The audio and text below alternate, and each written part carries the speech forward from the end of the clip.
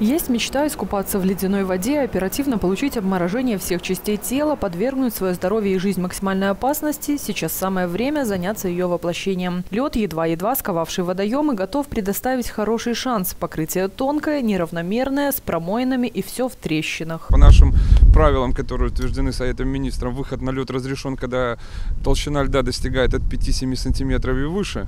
Поэтому как бы мы пока что не рекомендуем выходить на лед, как бы только готовиться к зимней рыбалке, так как в дальнейшем обещаются какие-то более-менее морозы. И тогда, я думаю, еще пару недельков, дней пять, если морозы будут, значит, соответственно, тогда уже более-менее в надежных местах можно выходить. Чтобы оказаться по уши в воде, не нужно много беспечность и несколько шагов. С момента погружения человек имеет не так много времени для спасения, порядка 5-7 минут. К слову, при наличии спасательного жилета цифра возрастает в разы. Однако плескаться в холодной воде – то еще удовольствие. Конечно, там, где есть спасательные станции, помощь придет быстро. Но давайте на чистоту. Разве при выборе места для рыбалки кто-то ориентируется на наличие спасателей в зоне досягаемости? Хотелось бы обратить то самое главное внимание, то, что вот, как на мне, одет, допустим, спасательный жилет.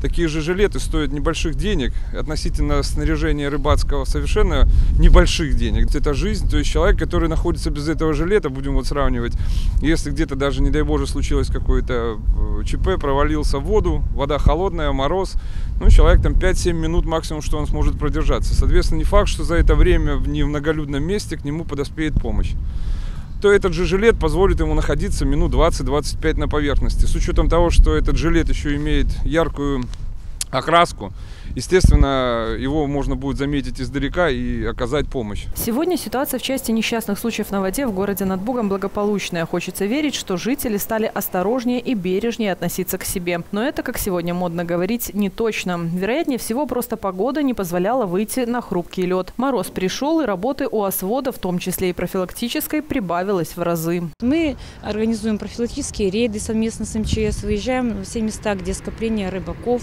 где дети после посещения школ любят прогуливаться. Вот, везде предупреждаются рыбаки, рассказываются о мерах безопасности, что с собой необходимо при рыбалке иметь. Э, также детей информируют, э, как бы в первую очередь, на предмет того, что запрещено находиться на водоеме без сопровождения взрослых, это в первую очередь. И посредством мобильной связи мы информируем родителей тоже как бы на предмет того, что их дети находились у водоема как бы сами самостоятельно, чтобы родители могли тоже провести такую какую-то беседу со своими детьми. К слову, погодные условия на территории Бреста и области продолжат формировать ледяную корку. На грядущих выходных столбик термометра будет показывать уверенный минус и ночью, и днем. Может быть, стоит умерить свой рыбацкий и залихватский пыл и дать природе нарастить безопасный для человека слой льда. В выходные дни преимущественно без осадков, э, местами слабые туманы, на дорогах гололедицы. И температура воздуха в субботу ночью минус 6, минус 11, днем минус минус 1, минус 6. Воскресенье